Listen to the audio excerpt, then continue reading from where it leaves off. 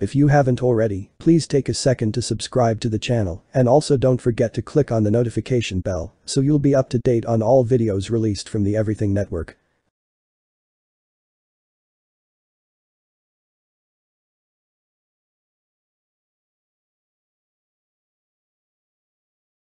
The Los Angeles crime family, also known as the LA Mafia, is an Italian-American organized crime syndicate based in Los Angeles, California, as part of the American Mafia. Since its inception in the early 1900s, it has spread throughout Southern California. Like most mafia families in the United States, the LA crime family gained power bootlegging during the Prohibition era. The LA family reached its peak in the 1940s and early 1950s under Jack Dragna, who was on the commission, although the LA family was never bigger than the New York or Chicago families.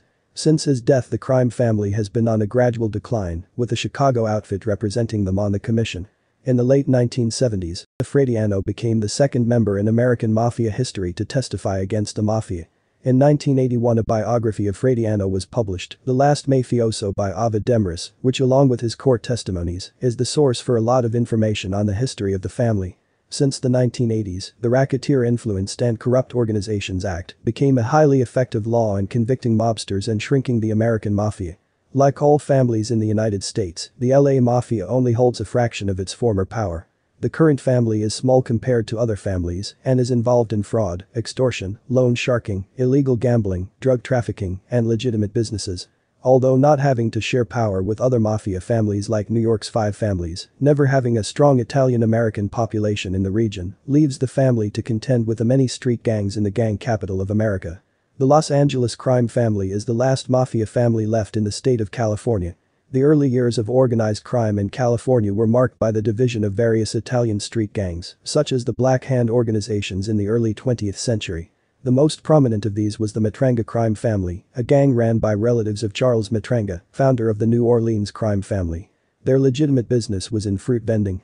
Otherwise they used threats, violence, arson and extortion to control the plaza area, which was the heart of the Italian-American community of Los Angeles at the time. Its first leader was Orserio Sam Matranga who started leading the family in 1905. Sam's relatives Salvador Matranga, Pietro Peter Matranga, and Antonio Tony Matranga were other members of the gang. Joseph Cuccia was a well-respected criminal amongst the underworld who served as a translator in court for Italians who didn't speak English. This made him a well-liked man in the Italian community. When prominent Black Hand leader Joseph Ardizzone was involved in a dispute with George Maisano, a member of the Matranga gang, they both went to Cuccia to mediate the dispute. Cuccia was a relative of Ardizzone and member of his crime family. He ruled in Ardizzone's favor, causing the Matrangas to threaten harm on Cuccia. In response, Ardizzone shot and killed Maisano on July 2, 1906. Ardizzone then fled authorities and was a wanted fugitive. With Ardizzone gone, the Matrangas fulfilled their promise of revenge. On September 25, 1906, Cuccia was shot and killed, allegedly by Tony Matranga. With both Ardizzone and Cuccia gone, the Matrangas were the dominant force in Los Angeles. However, their power was limited to within the plaza community. To change this they cooperated with the police. Giving up information on their enemies and receiving immunity for most of their crimes, the Matrangas were able to expand their power and influence. Ardizzone returned to Los Angeles in 1914 and resumed his feud with the Matranga family. Sam and his successor Pietro Peter Matranga were both murdered within 33 days of each other in 1917. Mike Marino, aka Mike Rizzo, an Ardizzone ally was responsible for the murders. While their next leader, cousin Tony Buccola was able to get revenge and kill Marino in 1919, many years of violence ruined the Matranga family. It was becoming clear that Ardizzone's faction was winning the war. With the rise of bootleggers in the 1920s, the Matranga's power declined and was eliminated with Buccola's disappearance in 1930. Albert Marco seized control of Los Angeles in the 1920s, not by working with a local mafia, but with the City Hall Gang, a political machine in Los Angeles run by Ken Kane Parrott and Charles H. Crawford. This transformed Marco into the vice lord of Los Angeles, earning $500,000 from bordello prostitution alone. With Crawford and Parrott controlling City Hall and the local press, the City Hall gang was able to operate bootlegging, prostitution, and illegal gambling rackets in the shadows, with little law enforcement scrutiny. This all changed when Marco was convicted of assault with a deadly weapon in 1928, and the City Hall gang broke down after a reform movement swept LA in the late 1920s. Since then a host of mobsters fought to take control of liquor operations that Marco and the City Hall gang previously dominated. In 1928 August Palumbo was the seventh bootleggers killed in a six-week period. Palumbo was Marco's lieutenant and was killed for refusing to merge his criminal operations with Rosario DeSimone. DeSimone's lieutenant Dominic DeCiala, aka Dominic De Soto, was acquitted of the murder and took control of Palumbo's liquor operations. When he tried to challenge higher powers by moving into syndicated gambling rackets, he was murdered in 1931. Joseph Ardizzone returned to California in 1914 and was acquitted of murdering Maisano in 1915 due to lack of evidence and no witnesses willing to testify. He quickly returned to power and took control of rackets in Los Angeles. Ardizzone teamed up with Jack Dragna and they worked closely together for over 10 years. During Prohibition the two were successful in running bootlegging operations in Southern California as well as gambling and extortion. By the end of the 1920s he was rapidly expanding his power and influence. Under Ardizzone's tenure, organized crime began consolidating under his banner as he dominated criminal activities in LA. In the late 1920s, Jack Dragna and Johnny Roselli constantly battled Charlie Crawford for control of the lucrative bootlegging rackets, with the deaths of Buccola and Diciala in 1930 and 1931, respectively, Ardizzone, who was the prime suspect in both murders, was the undisputed leader of crime in LA. He set up the Italian Protective League, with Dragna as its president, Ardizzone as its vice president, and California State Senator Joseph Pedrati as its chairman. The organization had some political and social motives, but mostly served as a strong arm muscle for the crime family. His reign as boss was short-lived when he mysteriously disappeared in 1931. Ardizzone was in conflict with the Mafia's national crime syndicate on the East Coast, leading to Ardizzone's elimination. Jack Dragna took control of the family after Ardizzone's death in 1931 and made peace with the national syndicate. In addition, his brother Tom Dragna was made his consigliere, while his nephew Louis Dragna became a made man in 1947. Dragna was the most successful boss the LA family ever had, Although he wasn't able to infiltrate many of the labor unions in the entertainment industry, he involved the Los Angeles family in the entertainment business and brought the LA Mafia onto the national stage. He was honored with a place on the commission, the only boss west of Chicago to hold a spot on the council. When Prohibition ended in 1933, Dragna operated a massive loan shark and illegal gambling business, Along with close supporter John Roselli, Dragna's mafia family ended local gang wars by driving older gambling syndicate headed by Guy McAfee and Milton Farmer Page out of business. Dragna and Roselli worked with Joe Shaw, the brother of Mayor Frank Shaw, to muscle out LA bookies, many of whom fled to Las Vegas. By 1937, Dragna controlled gambling in Los Angeles. For independent bookmakers, Dragna would use extortion to collect money from their operations. While most mobsters simply threatened harm on a business for not paying tribute to their organization, Protection Racket, Dragna's family came up with a more sophisticated course of action. Dragna would send in men to threaten businesses, then the owners would pay him for protection, unaware that these were Dragna's own men. He wasn't however, able to control 100% of independent gambling rackets. Along with Dragna avoiding the spotlight and public life, he often was given the reputation as a weak ruler. According to Mickey Cohen, Dragna was very powerful and very well respected, but did not put things together the way the East Coast bosses preferred. Although there was not a big pool of Italians to recruit on the West Coast like back east, the LA family worked around this by accepting members from across the country, such as Johnny Roselli from Chicago, Nick Licata from Detroit, and Aladdin Fratianno and Dominic Brooklier from Cleveland. Armed with top hitman Frank Bompensiero and Jimmy Fratianno, who committed over 30 murders on the orders of their superiors. Dragna muscled his way into controlling territory stretching throughout California and southern Nevada. The Dragna family also had connections within the Los Angeles County Sheriff's Department, who were more corrupt than the city police. Although not having a big hand in labor union rackets, the Dragna crime family did infiltrate some unions in the laundromat and dress importing business. When Charles Luciano sent Bugsy Siegel from New York City to Los Angeles to take control of their interests on the West Coast, including Las Vegas, he formed an uneasy partnership with Jack Dragna. Siegel was able to get independent bookies to pay tribute to Dragna's already flourishing gambling business. Aside from this however, Dragna resented Siegel's power to infiltrate unions in the movie industry. Siegel made millions extorting movie production companies and only had to pay Dragna a tribute for working on his territory. With New York on Siegel's side there was little Dragna could do to take control of the commission's grip of the city. The main reason Siegel came to California was to organize a horse racing wire service on the west coast for the National Syndicate, which Siegel and Dragna worked closely together on setting up. Dragna and Siegel tried many methods to take over Continental Press Service, the main wire service at the time. Attempts to buy out the company and to strong arm its owners didn't work, so they set up their own company called Transamerica. The Chicago outfit eventually took over rival Continental Racing Services and gave the entire percentage of the racing wire on the west coast to Dragna, enraging Siegel. Once Bugsy Siegel ran out of favor with New York, he was ordered to be killed. Although his murder officially remains unsolved, one theory is that Dragna's men were given the order to kill him. Siegel's chief lieutenant Mickey Cohen took charge of his gambling and loan shark operations in Los Angeles County and eventually became Dragna's next target. Dragna first began recruiting Cohen's Italian men such as Dominic Brooklier to his family and killing his other men such as David Ogul, Frank Niccoli, Neddie Herbert and Herman Hooky Rothman. However, through sheer luck Cohen survived many attempts on his life. In 1951 Cohen was imprisoned for tax evasion and the LA family moved in on his gambling business. The number of high-profile murders and gangsters moving into the West Coast combined with a recall of Mayor Frank L. Shaw because of corruption charges related to organized crime caused law enforcement to stop accommodating the mafia. In the late 1930s, California Attorney General Earl Warren took command of a tough assault on Dragna's empire, most notably shutting down the gambling ships run by Anthony Cornero. On February 14, 1950, the California Commission on Organized Crime singled out Dragna as the head of a crime syndicate that controlled crime in Southern California. Soon after several of his family members were arrested for the bombing of Mickey Cohen's home. Dragna fled the state and was wanted for questioning.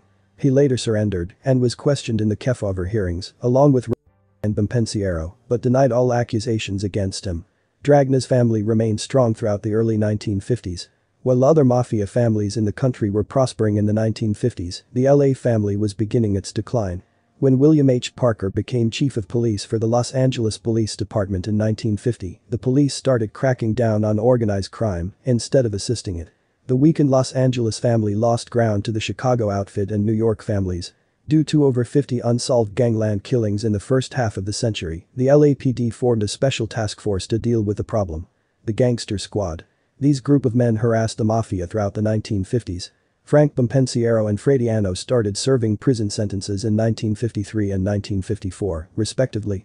In 1956 Jack Dragna died of a heart attack and a vote was made by the senior members of the family to elect its new boss. Johnny Roselli would have been a great choice, but he was a member of the Chicago outfit. Lawyer turned gangster Frank DeSimone was victorious. A disappointed Roselli, who felt that DeSimone rigged the election and wanted Tom Dragna to get it transferred back to the Chicago outfit. Fratianno did the same after his release from prison in 1960. With Jack Dragna gone and his brother Tom Dragna retiring a year after his death, the crime family slipped out of control. It quickly became apparent that Frank DeSimone was an incompetent boss. According to an unidentified informant, he raped the wife of former underboss Girolamo Momo Adamo, which caused Adamo to shoot his wife, who survived, and kill himself. This meant the top three men from Dragna's era, the boss, underboss, and consigliere, were all inactive in Los Angeles almost immediately after De Simone took charge. By 1965, it was estimated that the number of members of the LA family living in Los Angeles dwindled to 30, while the family actually had a strong presence in San Diego. In the 1960s, Bonanno crime family boss Joseph Bonanno plotted to have De Simone killed for failing to exploit the criminal opportunities in Los Angeles. The plan was thwarted, but caused and to become very paranoid, never leaving his house at night. DeSimone's unsuccessful reign concluded with his death in 1967 after 11 years in power. DeSimone's third underboss Nick Licata succeeded him. Licata had strong ties with mafia families in the Midwest and South and maintained contact with the mob in Las Vegas. By then, law enforcement knew much about mob activities in Los Angeles, which was helped by top hitman Frank Bompensiero becoming an undercover informant in 1967. In 1963 Joe Valachi ousted the Mafia as a secret criminal society, aiding in law enforcement's attacks on organized crime, and fingered Licata as a high-ranking mobster in Los Angeles. A bright spot during the period was that Louis Tom Dragna's company Roberta Dress Manufacturing was turning into a $10 million a year business. This was possible because in the 1950s, Jack Dragna flew labor union expert Johnny Dio in from New York City to teach Louis how to manipulate labor unions in the garment district. Licata had high hopes of restoring the declining family, but with the police and FBI constantly monitoring his family, Licata wasn't able to do much of a better job than DeSimone. On July 9, 1969, Licata was taken into custody after refusing to answer questions at a federal grand jury session about the Los Angeles crime syndicate structure. He was held in contempt of court for refusing to testify after being given immunity from prosecution and eventually served six months in prison. A pair of indictments in the mid-1970s threatened to put most of the working family in prison. In March 1973, seven men were arrested for running a rigged gambling operation in Los Angeles that brought in up to $250,000 a month.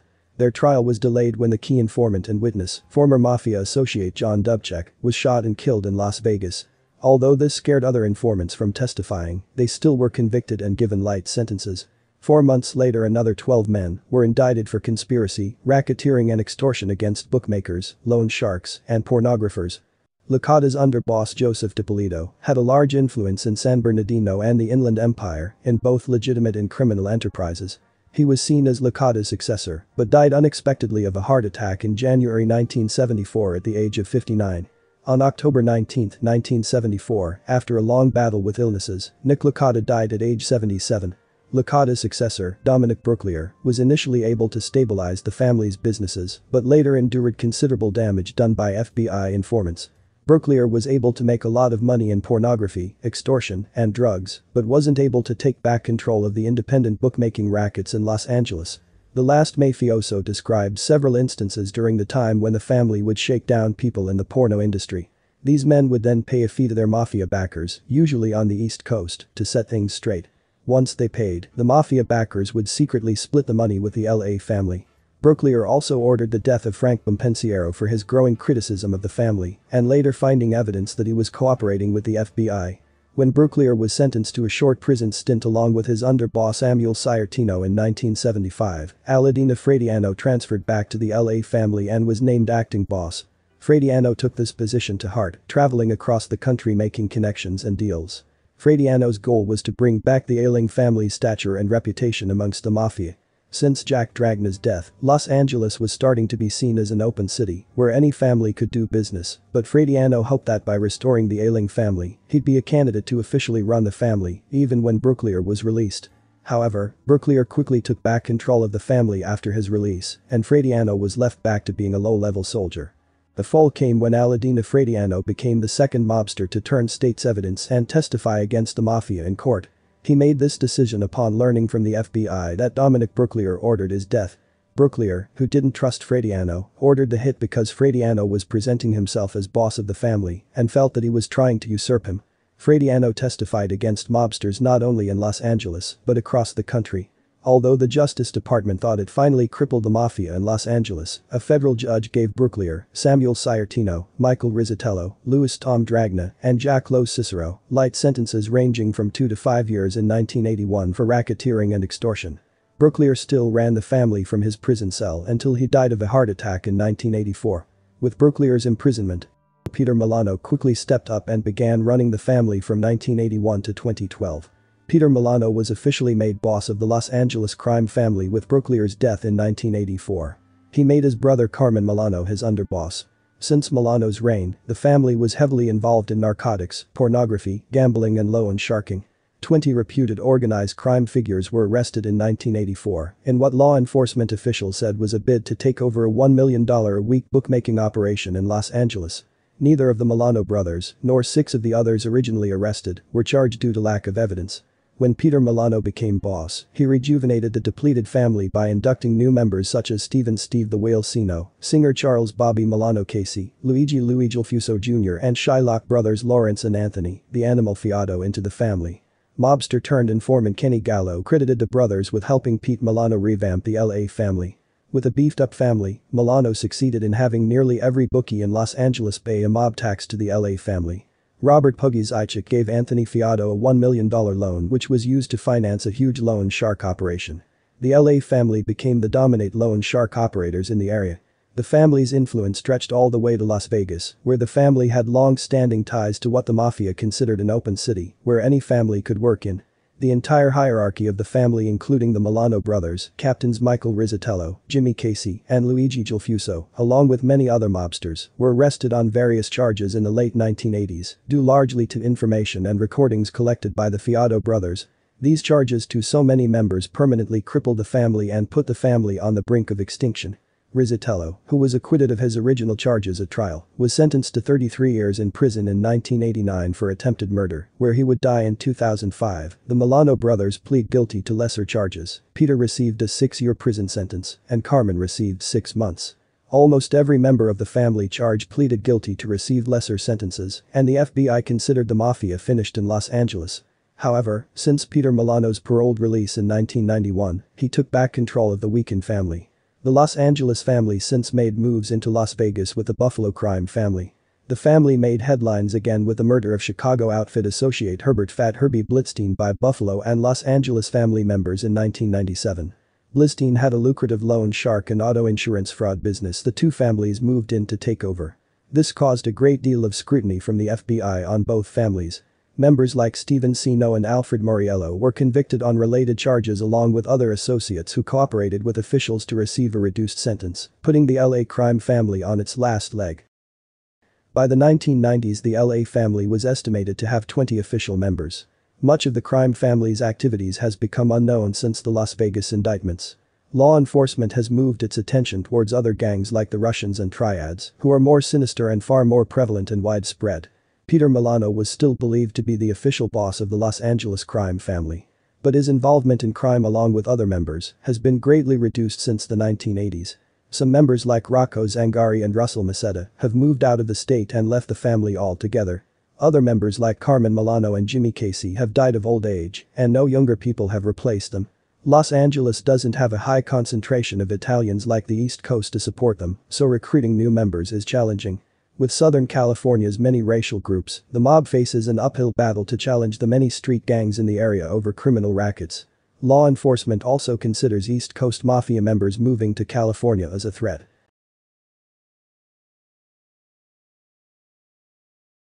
Benjamin Bugsy Siegel was a Jewish-American mobster. He was known as one of the most infamous and feared gangsters of his day. Described as handsome and charismatic, he became one of the first front-page celebrity gangsters. He was also a driving force behind the development of the Las Vegas Strip. He was not only influential within the Jewish mob, but, like his friend and fellow gangster Meyer Lansky, he also held significant influence within the Italian-American Mafia and the largely Italian-Jewish National Crime Syndicate. Siegel was also one of the founders and leaders of Murder Incorporated and also a bootlegger during Prohibition. As a boy, he dropped out of school and joined a gang on Lafayette Street on the Lower East Side of Manhattan. He committed mainly thefts until he met crime figure Moe Sedway. With Sedway, Siegel developed a protection racket where pushcart merchants were forced to pay him a dollar or he would incinerate their merchandise. He had a criminal record that included armed robbery and murder dating back to his teenage years. During adolescence, Benny befriended another Irish mobster by the name of Meyer Lansky. Together they formed a small gang whose activities expanded to gambling and car theft. Lansky, who had already had a run-in with Lucky Luciano, saw a need for the Jewish boys of his Brooklyn neighborhood to organize themselves in the same manner as the Italians and Irish. The first person he recruited for his gang was Benny Siegel. Benny soon became involved in bootlegging within several major East Coast cities. He also worked as the mob's hitman, whom Lansky would hire out to other crime families. Together they formed the Bugs and Meyer gang. The group handled contracts for the various bootleg gangs operating in New York and New Jersey, doing so almost a decade before Murder Incorporated was formed. The gang kept themselves busy hijacking the booze cargoes of rival mobsters. The Bugs and Meyer gang was known to be responsible for the killing and removal of several rival mob figures during their time. Siegel's gangmates included such mob figures such as Abner Zwillman, Louis Buchalter, and a relative of Meyer Lansky, Jake Stalker. Another member of the Bugs and Meyer gang recalled to Lansky biographers that Siegel was fearless and saved his friend's life on many different occasions when the gang started to get into bootlegging. A fellow mobster was recorded saying that Benny never hesitated when danger threatened. While we tried to figure out what the best move was, Bugsy was already shooting. When it came to action there was no one better. I've never known a man who had more guts. Benny was also a boyhood friend of New York native and Chicago mobster Al Capone. When there was a warrant for Capone's arrest on a murder charge, Siegel allowed him to hide out with his family. Siegel was also involved in the drug trade. By age 21, he was making lots of money and flaunted it all across town, driving the fanciest cars and showing up at the grand events and clubs weekly. He was regarded as handsome with blue eyes and was known to be charismatic and liked by everyone. He bought an apartment at the Waldorf Astoria Hotel and a Tudor home in Scarsdale, New York. He wore flashy clothes and participated heavily in the nightlife of New York City. In 1929, Lansky and Siegel attended the Atlantic City Conference from May 13 to 16, representing the Bugs and Meyer gang. Luciano and former Chicago South Side gang leader Johnny Torrio held the conference at the Ritz-Carlton Hotel in Atlantic City, New Jersey. At the conference, the two men discussed the future of organized crime and the future structure of the mafia crime families. At the end of the conference, Siegel stood up and said, Great, the Yids and the Dagos will no longer fight each other. On January 28, 1929, Siegel married Esta Krakower, his childhood sweetheart and sister of contract killer Whitey Krakower. The two would go on to have two daughters together. Siegel was said to have a reputation as a womanizer, and the marriage ended in 1946. His wife and their teenage daughters then moved to a secluded part of New York. In 1931, following the Castellammarese War and Maranzano's death, the commission was established for dividing mafia territories and preventing future wars. At this time, with his associates, Siegel formed Murder Incorporated. After he and Lansky moved on from the group, control over Murder Incorporated was ceded to Lepke Buchalter and Albert Anastasia. Siegel continued working as a hitman from time to time, but eventually would outgrow the group unless a major incident rose that needed attention of its founders. His only conviction was in Miami. On February 28, 1932, he was arrested for gambling and vagrancy and, from a roll of bills, paid a $100 fine. During this period, Benny had a heat with associates of Waxy Gordon, known as the Fabrizzo brothers. Gordon had hired the Fabrizzo brothers from prison to allegedly kill Lansky and Siegel. Gordon became known as a pickpocketer and sneak thief as a child, becoming so successful, he earned the nickname Waxy for supposedly being so skilled in picking pockets. Success later led him to run all of Arnold Rothstein's bootlegging on most of the East Coast, specifically New York and New Jersey. He soon began importing large amounts of Canadian whiskey over the United States-Canadian border. Gordon was now earning an estimated $1 million a year. He began buying numerous breweries and distilleries as well as owning several speakeasies.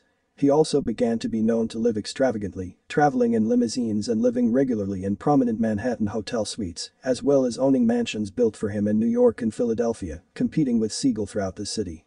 When Rothstein died in 1928 and Gordon's position began to decline, he made an alliance with future National Crime Syndicate founders Charles Luciano, Lepke Buchalter, and Meyer Lansky. However, he constantly fought with Meyer Lansky over bootlegging and gambling interests, and soon a gang war began between the two. This would be one of the only known head-on wars, after the commission was formed, that Murder Incorporated would participate in, as its own group. Several associates on each side were killed during this war. It was alleged that Waxy Gordon's gang was winning the war and as a result, Lansky and Luciano supplied interim United States Attorney Thomas Dewey with information leading to Gordon's conviction on charges of tax evasion in 1933. Siegel would eventually hunt down the Fabrizzo brothers, killing two of them. However, this came after their failed assassination attempt on Lansky, as well as two attempts to kill Siegel himself. After the deaths of his two brothers, Tony Fabrizzo began writing memoirs and allegedly gave it to an attorney. One of the longest chapters was to be a section on the nationwide kill for hire squad led by Benny Siegel.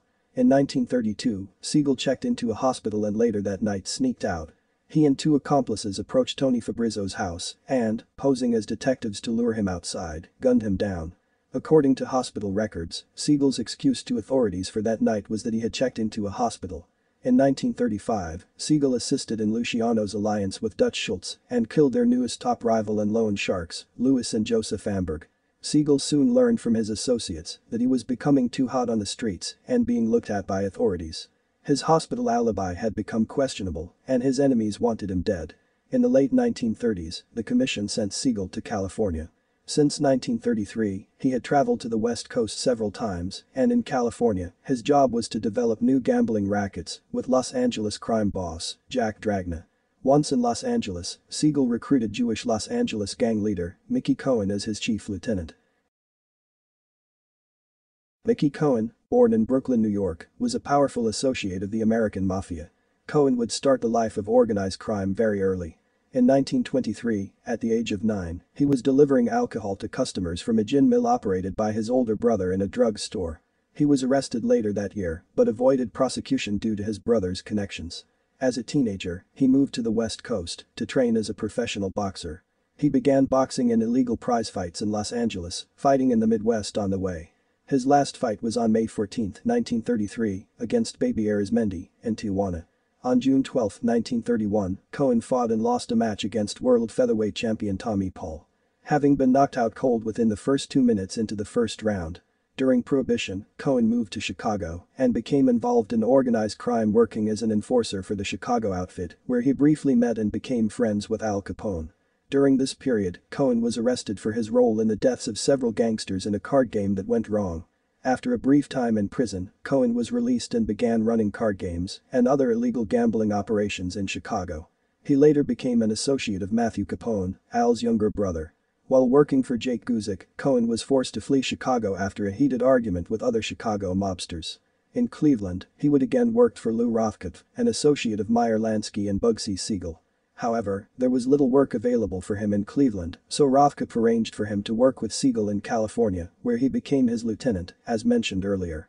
While in Los Angeles, Mickey was given orders by Meyer Lansky and Lou Rothkopf to work for and also keep watch upon Bugsy Siegel.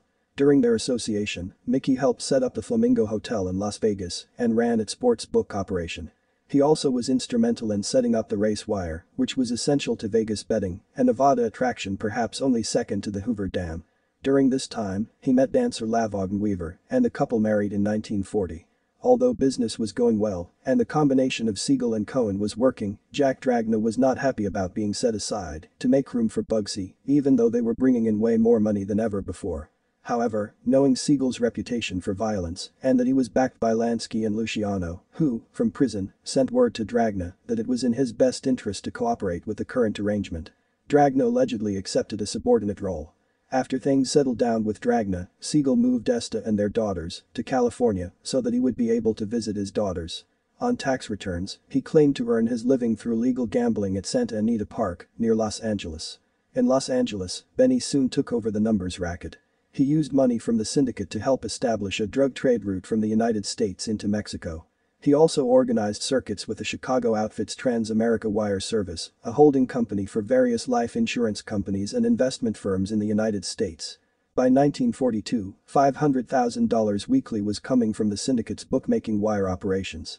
In 1946, because of problems with Siegel, the Chicago outfit took over the Continental Press and gave the percentage of the racing wire to Jack Dragna, infuriating Siegel. Despite his complications with the wire services, Siegel controlled several offshore casinos and a major prostitution ring. He also maintained relationships with politicians, businessmen, attorneys, accountants, and lobbyists who fronted for him. Benny being the flamboyant mobster that he is, could not resist the temptation of Hollywood. In Hollywood, Siegel was welcomed in the highest circles and befriended stars. He was known to associate with George Raft, Clark Gable, Gary Cooper and Cary Grant, as well as studio executives Louis Mayer and Jack Warner. Actress Jean Harlow was a friend of Bugsy and godmother to his daughter Millicent. Siegel led an extravagant life, as he did in his early days in New York. He bought real estate and threw lavish parties at his Beverly Hills home. He gained admiration from young celebrities, including Tony Curtis, Phil Silvers and Frank Sinatra. Siegel had several relationships with actresses, including socialite Dorothy Di Frasso, the wife of an Italian count. The alliance with the countess took Siegel to Italy in 1938, where he met Benito Mussolini, to whom Siegel tried to sell weapons to. He continued to work with the crime syndicate to form illegal rackets. He devised a plan of extorting movie studios, he would take over local unions, specifically the Screen Extras Guild and the Los Angeles Teamsters unions, then stage strikes to force studios to pay him off so that unions would start working again. It is alleged he borrowed money from celebrities and didn't pay them back, knowing that they would never ask him for the money. During his first year in Hollywood, he received more than $400,000 in loans from movie stars, Around November of 1939, Lepke Buchalter, head of Murder Incorporated, gave word to Siegel to send Whitey Krakower, Frankie Carbo and Albert Tenenbaum to kill Harry Greenberg. Greenberg had threatened to become a police informant and needed to be taken care of immediately. He was killed on November 23, 1939, outside of his apartment. Tenenbaum confessed to the murder and agreed to testify against Siegel. Siegel and Carbo were implicated to have shot and killed Greenberg, and in September 1941, Siegel was tried for the Greenberg murder. Whitey Krakower was killed before he could face trial. The trial gained notoriety because of the preferential treatment Siegel received in jail. He refused to eat prison food and was often allowed female visitors. He was also granted leave for dental visits. Siegel would hired attorney Jerry Giesler to defend him. After the deaths of two state witnesses, no additional witnesses came forward. Tenenbaum's testimony was dismissed. In 1942, Siegel and Carbo were acquitted due to insufficient evidence, but Siegel's reputation was damaged. During the trial, newspapers revealed his past and referred to him as Bugsy. He hated the nickname, preferring to be called Ben or Mr. Siegel. On May 25, 1944, he was arrested and acquitted for bookmaking. Siegel wanted to be a legitimate businessman and in 1946, he saw an opportunity with William Wilkerson's Flamingo Hotel. Las Vegas gave Siegel his second opportunity to reinvent himself. In the 1930s, he had traveled to southern Nevada with Meyer Lansky's Lieutenant Mo Sedway on Lansky's orders to explore expanding operations. There were opportunities in providing illicit services to crews constructing the Hoover Dam. Lansky had turned the desert over to Benny, but he turned it over to Mo Sedway and left for Hollywood. However, Lansky needed Benny back in Vegas and asked Siegel to watch over Wilkerson's desert development. Siegel, who knew Wilkerson lived near him in Beverly Hills and was the obvious choice as a liaison, he wanted no part in the operation that would take him back to Nevada. It meant leaving Beverly Hills and his playboy lifestyle. But at Lansky's insistence, Siegel consented. In the mid-1940s, Siegel was lining things up in Las Vegas while his lieutenants worked on a business policy to secure all gambling in Los Angeles. Throughout the spring of 1946, he proved useful when he obtained black market building materials. The post-war shortages that had dogged construction were no longer a problem. At first Siegel seemed content to do things William Wilkerson's way. However, his desire to learn about the project took precedence over his sportsman lifestyle. It subdued his aggression under Wilkerson's tutelage, Siegel learned the mechanics of building an enterprise. However, he began to feel intimidated and paranoid. He grew resentful of Wilkerson's vision for the desert. Tom Seward, a business partner of William Wilkerson, described Siegel as so jealous of William, it drove him crazy. He began making decisions without Wilkerson's authority, informing work crews that he had put him in charge. He ordered changes which conflicted with the blueprints. The problem came to a head when he demanded more involvement in the project. To keep the project moving, Wilkerson agreed that Benny would supervise the hotel while he retained control of everything else. In May 1946, Siegel decided the agreement had to be altered to give him control of the Flamingo. With the Flamingo, Benny would supply the gambling, the best liquor and food, and the biggest entertainers at reasonable prices. He believed these attractions would lure not only the high rollers, but thousands of vacationers willing to lose a few hundred bucks. Siegel offered to buy out Wilkerson's creative participation with corporate stock, plus an additional 5% ownership in the operation. Siegel later changed his mind. On June 20, 1946, Siegel formed the Nevada Project Corporation of California, naming himself president. He was also the largest principal stockholder in the operation, which defined everyone else merely as shareholders. William Wilkerson was eventually coerced into selling all stakes in the Flamingo under the threat of death and went into hiding in Paris for a time. From this point the Flamingo became syndicate-run. Siegel began a spending spree. He demanded the finest building that money could buy at a time of post-war shortages. Each bathroom in the 93-room hotel had its own sewer system, costing $1,150,000. More toilets were ordered than needed, costing $50,000. Because of the plumbing alterations, the boiler room was enlarged, costing $113,000. Siegel also ordered a larger kitchen that cost $29,000. Adding to the budgetary overruns, there were also problems with dishonest contractors and disgruntled unpaid builders. As costs soared, Siegel's checks began bouncing.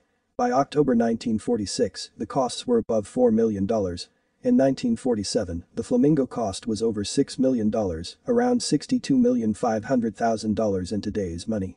The first indication of trouble came in November 1946 when the syndicate issued an ultimatum. Provide accounting or forfeit funding. But producing a balance sheet was the last thing Siegel wanted to do. Siegel waged a private fundraising campaign by selling non-existent stocks.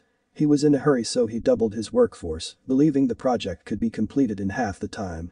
Siegel paid overtime. In some cases, bonuses tied to project deadlines were offered as a way to increase productivity. By late November, the work was nearly finished. According to later reports by local observers, Siegel's maniacal chest puffing set the pattern for several generations of notable casino moguls. His violent reputation didn't help his situation. After he boasted one day that he'd personally killed some men, he saw the panic look on the face of head contractor Del Webb and reassured him, Del, don't worry, we only kill each other.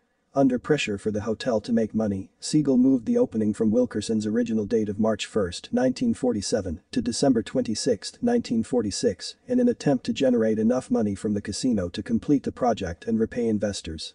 However, Siegel generated confusion with the opening date. On a whim, he decided a weekend would be more likely to entice celebrities away from home. Invitations were sent out for Saturday, December 28. Siegel changed his mind again and invitees were notified by phone that the opening had been changed back to the 26th. Other associates portrayed Siegel in a different aspect as an intense character who was not without a charitable side, including his donations for the Damon Runyon Cancer Fund. Lou Weiner Jr., Siegel's Las Vegas attorney, described him as very well liked and that he was good to people. Problems with the Trans-America Wire service had cleared up in Nevada and Arizona, but in California, Siegel refused to report business. He later announced to his colleagues that he was running operations in California by himself and that he would return the loans in his good time. Despite his defiance to the mob bosses, they were patient with Siegel because he had always proven to be a valuable man. The Flamingo opened on December 26, 1946. The casino, lounge, theater and restaurant were finished. Although locals attended the opening, few celebrities materialized. A handful drove in from Los Angeles despite bad weather. Some celebrities present were June Haver, Vivian Blaine, George Raft, Sonny Tufts, Brian Donlevy, and Charles Coburn. They were welcomed by construction noise and a lobby draped with drop cloths. The desert's first air conditioning collapsed regularly. While gambling tables were operating, the luxury rooms that would have served as the lure for people to stay and gamble were not ready. As word of the losses made their way to Siegel during the evening, he began to become irate and verbally abusive, throwing out at least one family. After two weeks, the Flamingos gaming tables were $275,000 in the red. The entire operation would eventually shut down in late January 1947. After being granted a second chance, Benny cracked down and did everything possible to turn the Flamingo into a success by making renovations and obtaining good press. He hired future newsman Hank Greenspun as a publicist, the hotel would reopen on March 1, 1947, with Meyer Lansky in attendance, they began turning a profit. However, by the time profits began improving, the mob bosses above Siegel were tired of waiting. Although time was running out, at age 41, Benjamin Siegel had carved out a name for himself in the histories of organized crime. And with Mickey Cohen running things on the streets from him, this duel was considered a powerhouse in the mafia world. However, on the night of June 20, 1947, as Siegel sat with his associate Allen Smiley in girlfriend's Virginia Hills Beverly Hills home, an assailant fired at him through the window, hitting him multiple times, including twice in the head. No one was charged with the murder, and the crime remains officially unsolved. It was said that the crime families ordered the murder of Siegel due to his mismanagement of the Flamingo Hotel. Most likely because Siegel or his girlfriend Virginia Hill were skimming money.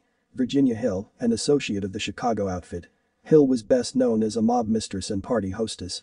During her time, she also dated mobsters Frank Costello, Frank Nitti, Tony Accardo and Joe Adonis. Also during this time, she would meet various members of the outfit under Capone's leadership. She also made numerous connections with New York City mob figures. With these associations she became a courier, or in mafia terms, a bag woman, whereas she put funds into Swiss bank accounts for such figures as Brooklyn Jewish mobster Benjamin Bugsy Siegel it did not take long for the relationship with Siegel to become a romantic relationship. Although Hill would later deny it, through her association with Siegel, she had bought new homes for her family and lived a lavish lifestyle. According to various sources, Hill was reportedly threatened by members of the five families in the days leading up to Siegel's murder with the instructions to hop on a plane to Chicago and to not return to California ever again. According to several accounts which does not appear in newspapers, Mickey Cohen reacted violently to Siegel's murder. Entering the Roosevelt Hotel, where he believed the killers were staying, Cohen fired rounds from his two semi-automatic handguns into the lobby ceiling as his gang proceeded to enter several hotel rooms, demanded that the assassins meet him outside. However, no one appeared and Cohen was forced to flee when the cops arrived. As the weeks continued, Cohen took full control of Bugsy's Street operations in Los Angeles and continued to hunt down the mobsters sent to kill Siegel, allegedly killing one of them, which angered the commission back in New York. Cohen's violent methods came to the attention of state and federal authorities investigating Jack Dragna's operations. During this time, Mickey faced many attempts on his life, including the bombing of his home on posh Moreno Avenue in the Brentwood section of Los Angeles. He soon converted his house into a fortress, installing floodlights, alarm systems, and a well-equipped arsenal kept, as he often joked, next to his 200 tailor-made suits. Cohen also briefly hired bodyguard Johnny Stompanato before his killing by actress Lana Turner's daughter. It is said the Cohen paid for the coffin for Stompanato's funeral and then sold Lana Turner's love letters to Stompanato to the press as a slap in the face. Mickey and his gang was also suspects in the latest of crime sprees across the state of California, which included hijackings, store robberies and bank robberies, as the gang fell on hard times after the death of Bugsy. Cohen always tried to improve himself on account of his lack of any formal education and would take vocabulary lessons. He almost never drank alcohol, and the cigar clenched between his teeth was rarely lit.